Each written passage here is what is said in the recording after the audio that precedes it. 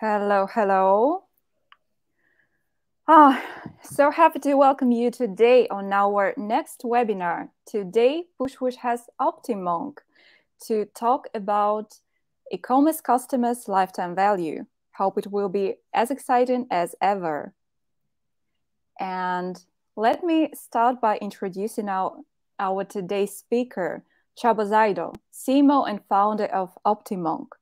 Csaba, will you please say a couple of words about your company? Yeah, so thank you very much.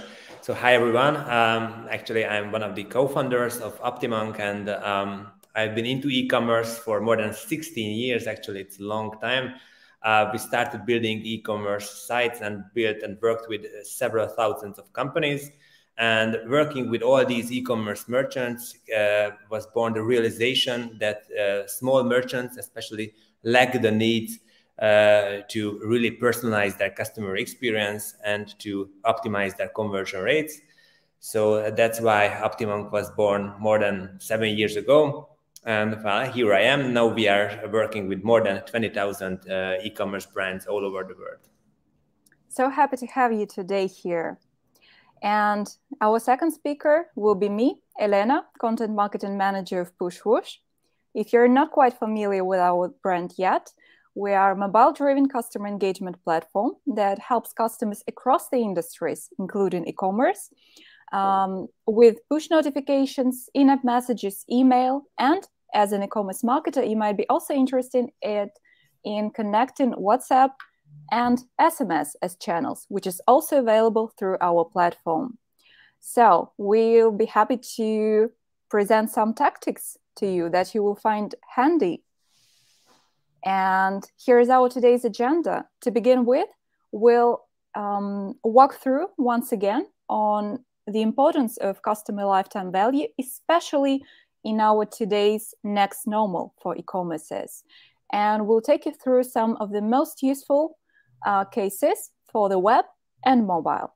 And of course, uh, please prepare your questions, whatever you have on the topic of e-commerce growth and especially customer lifetime value. We'll make time for your questions at the end in our regular Q&A session. So, if you've joined us today for a webinar on customer lifetime value, I may assume that you are quite confident that this is going to be your target metric, that this is what you're going to focus on in your ongoing campaigns. But nevertheless, I suggest we start by taking a step back uh, sort of zooming out and having an overview of the state of the e-commerce industry. You may remember that on the onset of the pandemic, the growth of e-commerces was the talk of the town. Any town that was hit by the lockdowns.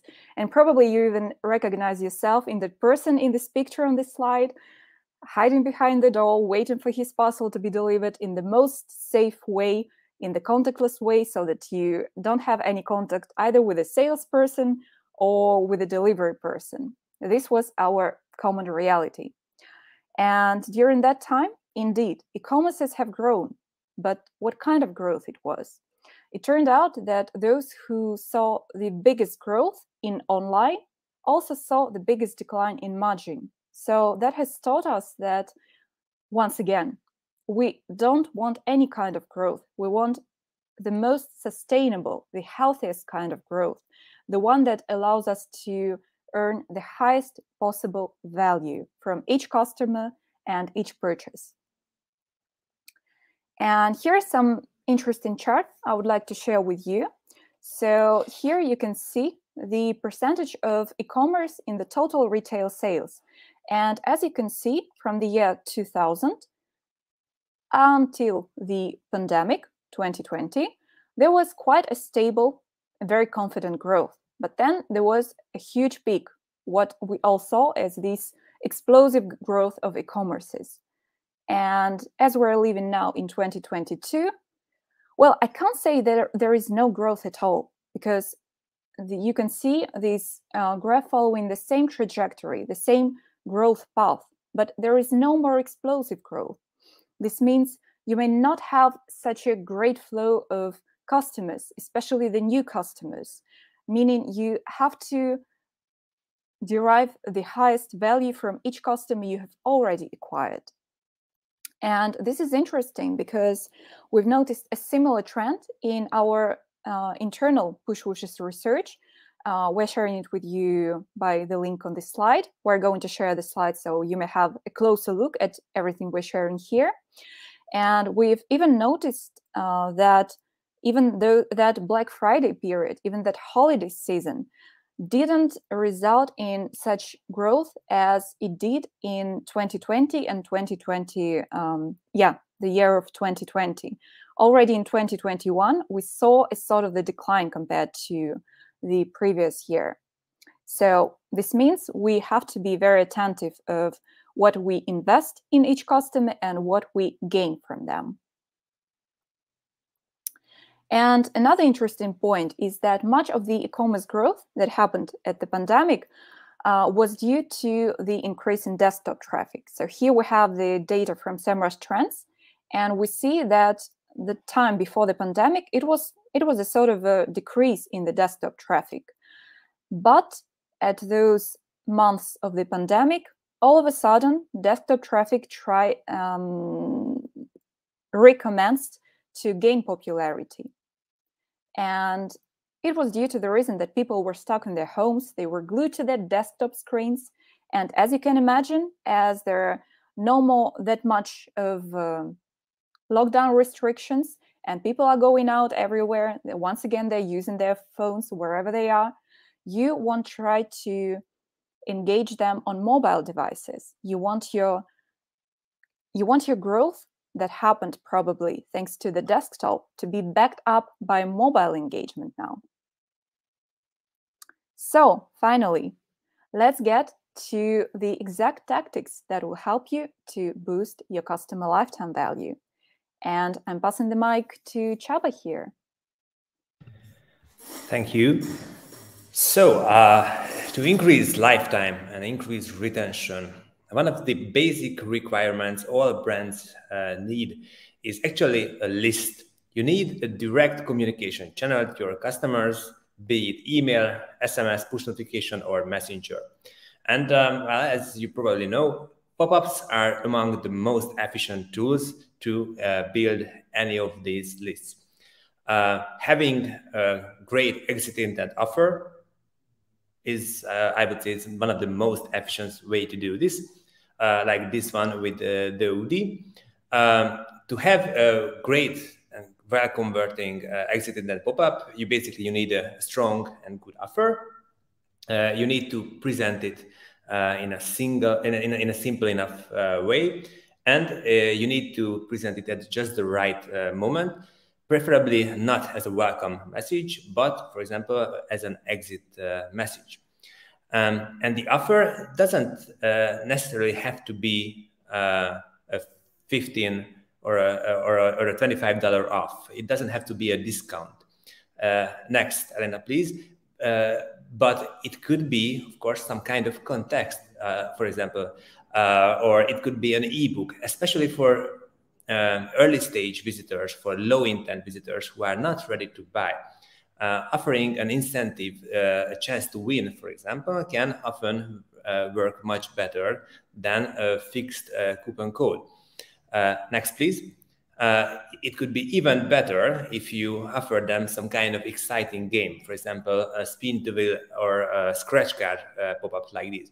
These messages can often convert above 15%, which are well, pretty pretty nice numbers considering that out of 100 people, you will get the direct email or SMS number of more than 15 people. Or I can uh, show you one of our most, uh, our latest use cases, uh, which is the conversational pop-up. Next, please. Uh, basically, instead of uh, just offering, so this is this is a regular uh, intent pop-up. Get 15% off of your first order.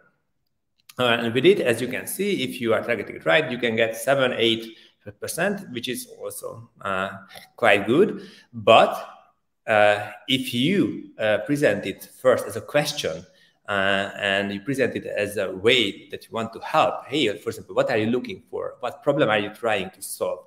Um, and you just request one question, uh, sorry, one click. Uh, and you incentivize this click with uh, with this 15% off, then you can get much better numbers. These are actual numbers, as you can see. Uh, the uh, the pop-up on the right has uh, more than 20% conversion rate, and if you again just click one more, Helena, you will see that it will not only improve the conversion rate of the pop-up, but it will also improve the actual assisted revenue uh, of these pop-ups. So the amount of uh, uh, um, the amount of actual revenue you are generating with with these messages.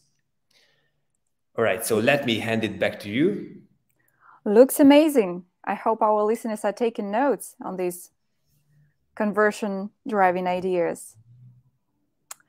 And yeah, actually, uh, getting users to opt in is your first step to get to that engagement on mobile as well. So here, uh, once again, inside the app, you may want to show an opt-in message as well. And here we have an example from the iHerb app suggesting users to opt in either for push notifications or emails. And here, what is nice is that you give your customers an option. This is what they love. And if even if they if they've chosen not to subscribe to your emails, you can still include a similar offer to their activation email because you have the right to send them a registration confirmation email, but to have the permission to send further marketing communications, you have to ask their permissions for that. And this is what you're doing here.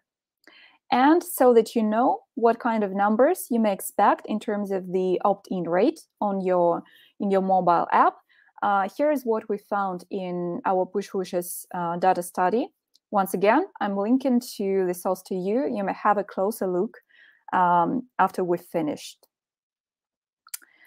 And the question may be, so, okay, you've got this quite impressive number of users opted in for your notifications or for your emails. Now you want to deliver you want the promise you've made in your opt-in screen. And here's where personalization steps in. And from, from research, we know that personalization is expected and even welcomed by customers when it comes to offering relevant products or offering relevant messaging. This is what we want to target. This is what we achieve with personalization. So, how do we do it? The first option is to ask your customers directly what their preferences are. And here's a great example, an idea for you for your onboarding in your e-commerce app coming from our customer Bantoa. Bantoa is uh, oriented on fashion e-commerce. So as part of their onboarding flow, they ask multiple questions on their users' favorite colors, on what kind of clothes they would never put on, on their budget, of course, on their normal size. So anything that will work for Bantoa and for their customers as well. And the second option is not to ask your customers directly, but watch, track, and act upon their real behavior. So, whatever kind of actions they take in the app, if they viewed any product, if they've put any products in their carts, if they've actually purchased these products. And the same goes about the way they react on your messaging. So you may want to choose if they've actually received your message, if they've actually opened your push notification. So each of these is possible with our Pushwoosh Customer Journey Builder tool. I'm showing it to you on this slide.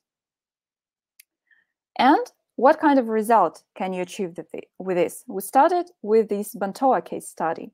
And as it's a case study, I can show some results with you. And these are probably the most impressive CTRs you may get for an e-commerce app or maybe even for any kind of app. Because with this kind of personalization, um, Bantoa has achieved their CTRs up to 91.9%.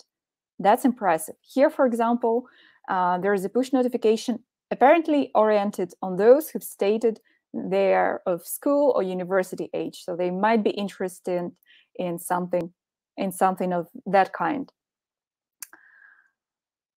and another example is apparently coming to those customers who were interested in tuning up their summer out- outfits. And once again, thanks to beautiful segmentation that Bantoa did, they've achieved high CTRs. And by this point, I can be pretty sure that you're willing to achieve such results for you as well. So to confirm that personalization works for you, once again, uh, here is uh, some information on which stages of the customer lifecycle personalization may positively influence. You can see that mainly on all, all the main stages that you may want to target. So personalization may help your customers to make a purchase decision. They may repurchase from you if they've received relevant messages from you and they may even recommend your brand to their friends, which means that by relevant interaction with your current customer, you may even increase your customer base. So, uh, personalization is basically about sending the right message to the right people at the right moment. Um, and targeting the right users actually is one of the, the most important point. Um, the first step is to just start, uh, sorry, to stop uh, broadcasting the same message to everyone. Here we have this quite generic exit intent offer offering 10% off to your customers. If we uh, show it to everyone, next please, I don't know. If show it to everyone, like after like like welcome message to all the new visitors, we will get a 3% conversion rate on average. Next, please. Yes. Um, but if you just make some very minor uh, changes on this one, uh, like uh, changing it to exit intent and showing it, uh, showing it only to those visitors who have uh, already put something into the cart, then the conversion rate will go up to 15%. Uh, so we get a 400% increase just by changing the targeting settings and still showing the exact same message. Of course, many merchants are afraid that all right now that i've changed this i narrowed down this uh, the targeting of this message now most of my visitors will not see this message which is right. But of course you don't have to target all the users with the same, same message. You can show this message to the cart abandoners and you can show a different message for for example for low intent visitors. As i just mentioned uh, for uh, low intent visitors usually respond better to some kind of gamification, some, some kind of other contest. Or for returning visitors, you can show, for example, the previously viewed products. You can welcome back that, hey, are you still interested in these products? And you can just dynamically show those products which they have uh, seen in their previous session. Basically, you can target this, the right users with the right message. And this is just the very beginning. Then the next stage of personalization is to even for the same users, for example, all the new users visiting your homepage, you can still differentiate, you can still personalize your message.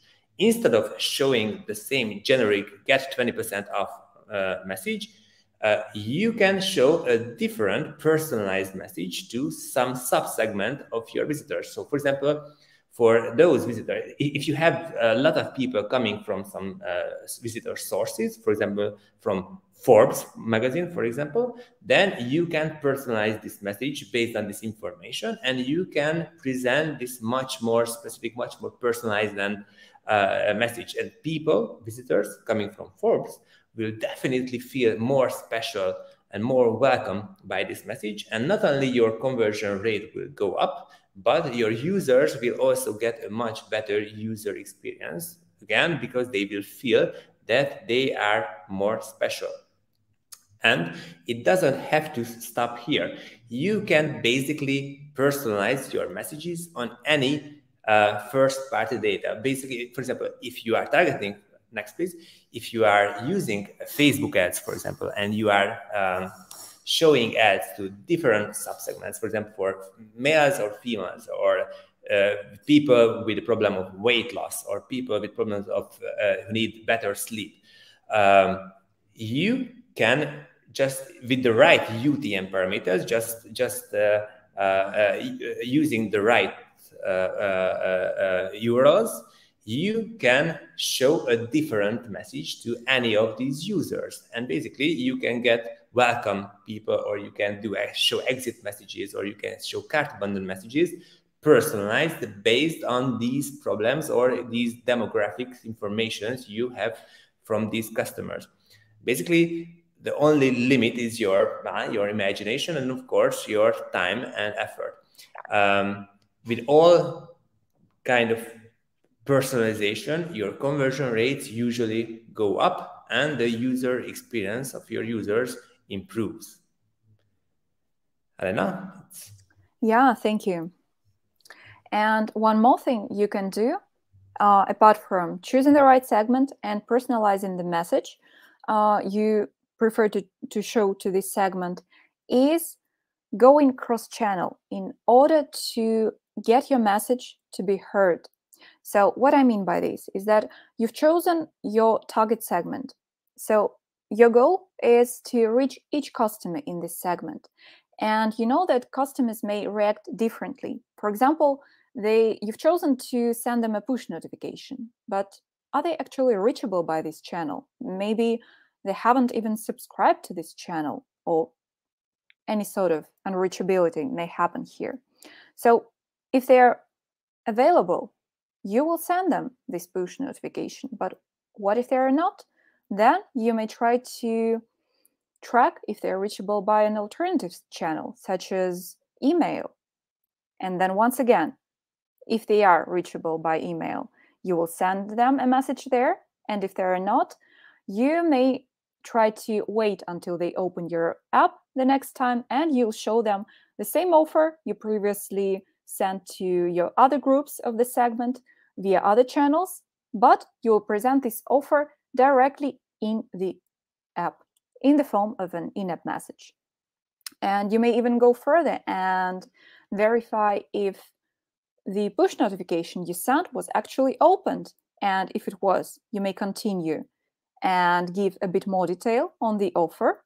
And if it was not, you may even send another push. Maybe there will be any different kind of promotion that will interest users better and that they will open eventually. And an interesting thing about customer lifetime value is that it is actually compiled of several different metrics. And to sort of structurize your campaigns, your work, you may want to target each of these metrics separately in different campaigns so that ultimately you reach the increase in your main metrics, such as customer lifetime value. So, the most typical example, the most typical thing to do is to grow your average order value. And also, typical use cases are upselling and cross selling to your customers. And here we have examples from La Redoute app. And as someone who's had quite a few years in content marketing, I'm fascinated by this push notification they use for upselling their customers. So here they've managed to apply all the best practices for push notifications, such as they're creating the sense of urgency. You see these uh, capital letters, limited time offer. They they're even using uh, red siren emojis here. And by the way, Pushwoosh team has found that emojis do increase push notification CTRs. What they're doing next, they're playing the popular free delivery card, but they're pursuing the upsell purpose here. So they only offer free delivery to those whose order value is higher than a certain amount of money. And to finalize the message, they're emphasizing once again that it's a limited time offer. It's going to finish on Tuesday. And another good example La Redoute has for cross selling is this in app message. So, as soon as I've added this beautiful blue dress to my basket, there is this pop up that appears and suggests me to shop the entire look we can see here. This Converse, these earrings, whatever is, is present and may be relevant to me as a customer and that may contribute to the ultimately higher order value. Well, if we are talking about pop-ups and upsell and cross-sell, uh, one of the classic ways to improve the average order value is the free shipping bar notification.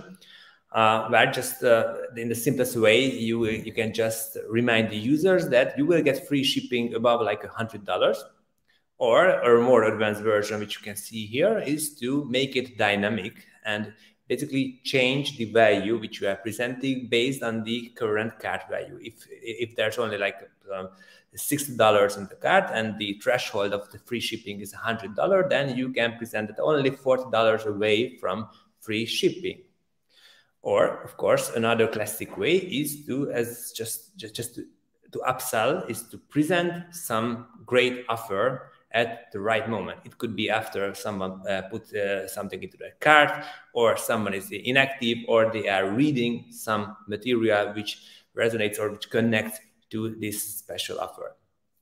Or a less intrusive version is to just show people in a side message, in a sticky bar, some relevant products, like showing the most popular products. You can even show the most popular products within a category. If someone is, for example, browsing uh, like uh, earrings or, or, or, rings, and uh, they are they are for they spend at least one minute on uh, this category page. Uh, this message can appear, and they can show the visitors the most popular products. Usually, these messages can improve the average order value uh, by more than uh, 7 or 8%, which doesn't seem to be a lot, but still 7 or 8% for each average order, uh, this is, is quite a big, it can be quite a big amount. Or um, let's see if we have some existing customers who are already purchased, who already purchased uh, something before, and we don't want to necessarily present them any special offer or any discount. We can definitely welcome them with some uh, with, with the latest newest most relevant offer to them we have like a new bracelet which we would like to to uh, present. Or, of course, which I, I've already shown you, is to remind them of what they have left off uh, in their previous purchase, like Burberry does. Um, showing the top two or three uh, products which they've visited in the previous session and helping them continue where they have left off is a very nice uh, way to actually um, continue their their previous journey and uh, not let them actually uh, forget about these products which they have uh, they, they have been interested before. Or of course since you don't have to sign them up for a list because you already uh, have them on your list uh, uh, most likely you can use this exit intent space basically to upsell or cross sell with some relevant offers to these users. For example, hey, take a look at our most popular products before you go.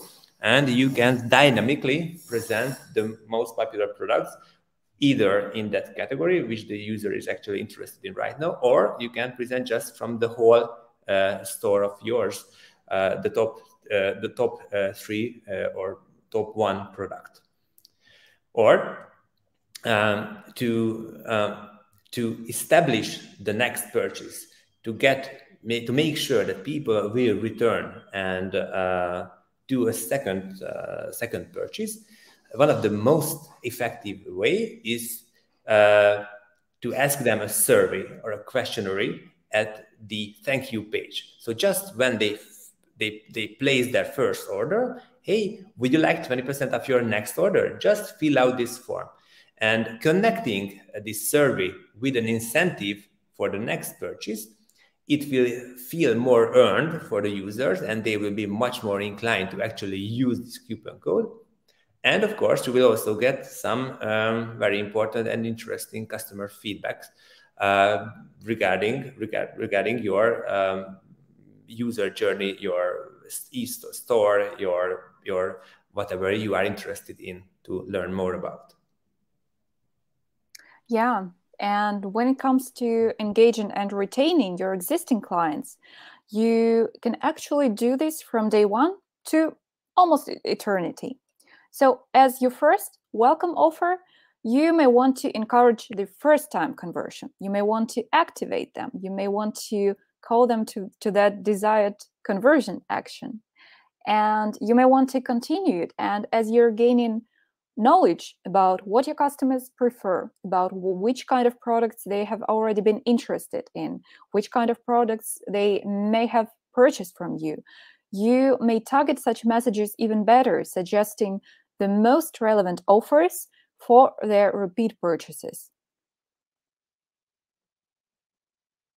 So, uh, my final recommendation is basically a summary what uh, I've been talking about is to do not broadcast all your messages to the uh, don't broadcast the same pop-up to everyone but rather you should personalize your messages based on the life cycle based on the awareness stage of your current visitors.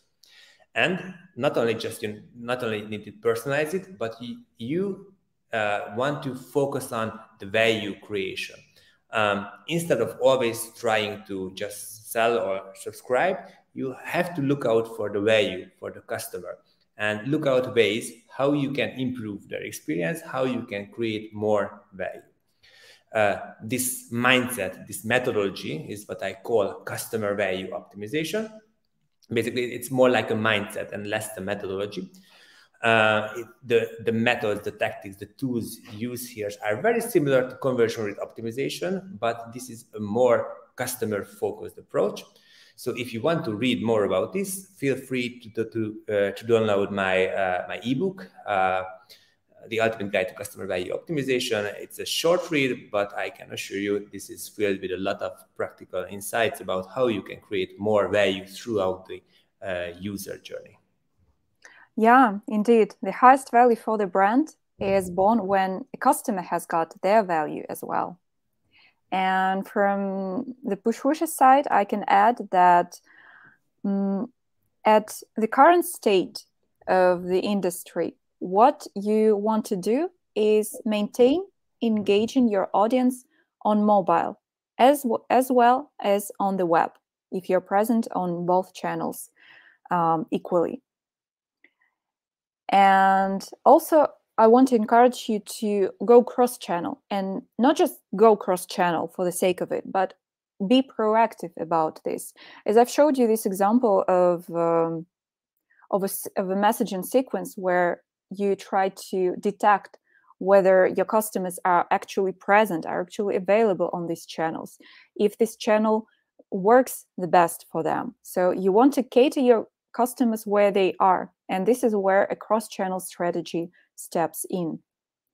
And finally, as we've talked about customer lifetime value, it's very important to um, make some to make this marketing journey for yourself and try to pursue one important metric at a time. So you may create a set of campaigns and while on some of them you will focus on average order value, in others, you may want to focus on repeat purchase rate. And at the end, you will have your ultimate metric covered. You will have your customer lifetime value increased. So I was very happy to listen to the ideas that Csaba has shared from the OptiMonk experience.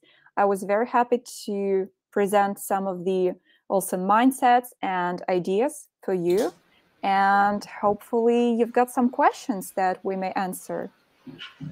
Yeah, awesome. Thank you, uh, Elena. Thank you, Csaba. I think I, I, actually really loved the way you addressed different stages of the customer journey and at the same time combining web and mobile. Uh, I think it was very useful for our audience. Uh, let me check um, the questions from the audience. I think there was, yeah. So here, James is asking, uh, what if I target the purchase frequency keeping the ultimate lifetime value in mind. Can you please share some techniques? So, speaking of the purchase frequency, um, well, you may try to pick the low hanging fruit. And you know what it is in your e commerce business? Most likely it will be abandoned carts. Um, I've seen some recent statistics that they may count by up to two thirds of all the possible and all the unfortunately lost purchases. So, and it happens for first time conversions as well as for repeat customers. So if your goal is to drive your to drive repeat purchases, you may want to target those who abandon carts as well as you may try to track and follow up on those who abandoned product views or abandon their favorites because in these cases you may track the corresponding events so you have some information on what kind of products will be relevant to these groups of customers, and hopefully you will get them to convert. Uh, great, uh, Csaba, do you do you want to add something here? Yeah, just uh, just on the pop-up side, the, the, one of the basic segmentation is of course you have the new customers and you have the returning customers, and you definitely want to present different uh, messages and different offers to these users. Uh, again, one another important segmentation is whether someone is a price sensitive customer or not.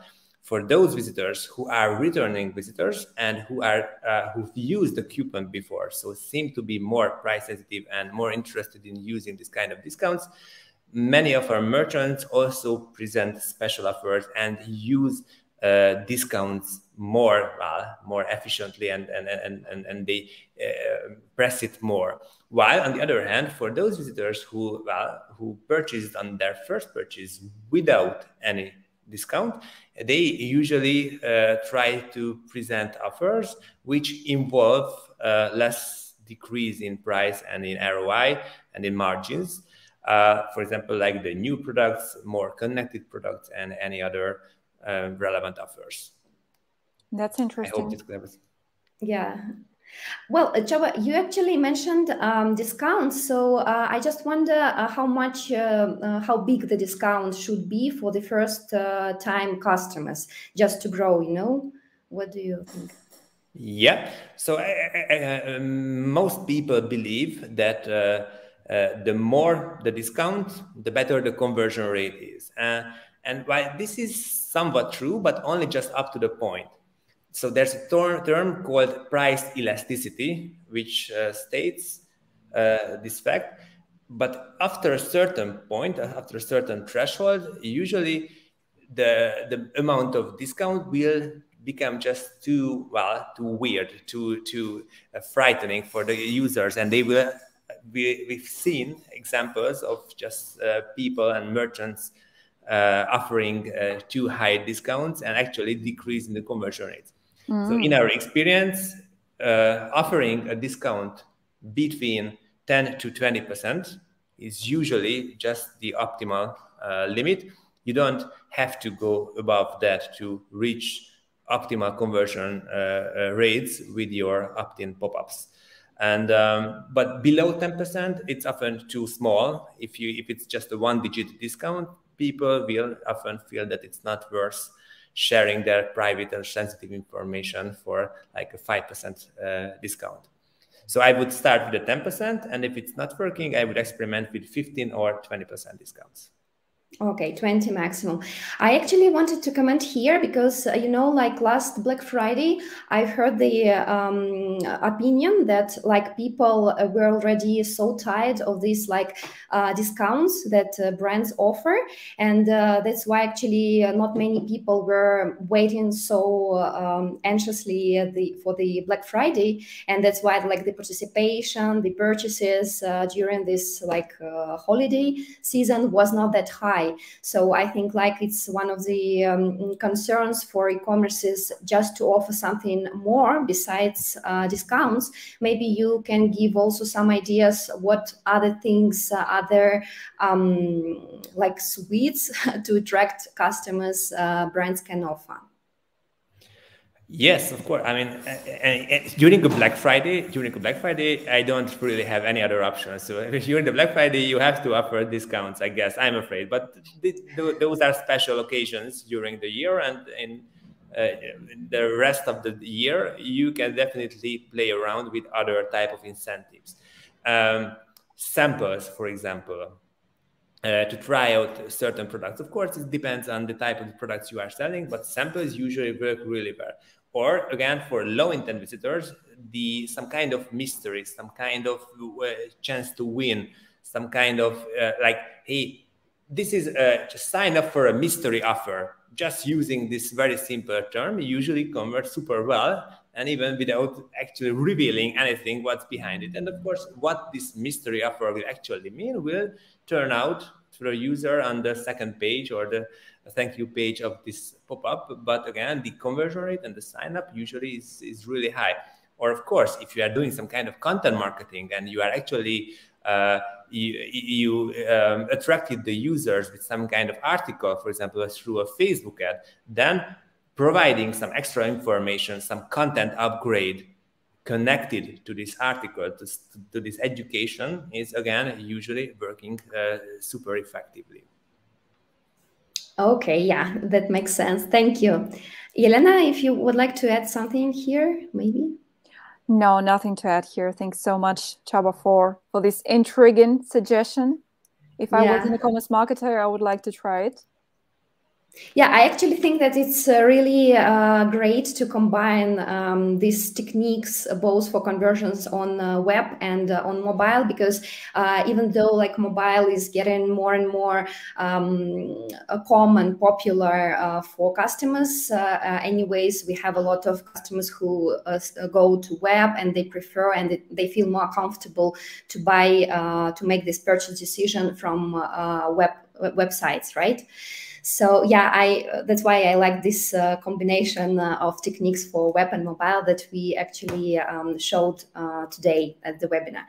So I guess uh, we will finish here. Uh, thanks a lot for everyone to everyone for being with us, um, for listening to the techniques, for the tips um, that our speakers uh, shared today. Csaba, thanks a lot. It was really Thank insightful. You yes, uh, hope to collaborate um, with OptiMonk in the next uh, um, activities. Elena, thanks a lot as well. And uh, um, I also invite everybody to visit our web, uh, webinars page. Uh, because we have other webinars there as well for other industries, for other uh, stages of the customer journey that you may um, find useful for your business. And until the next time, thanks a lot.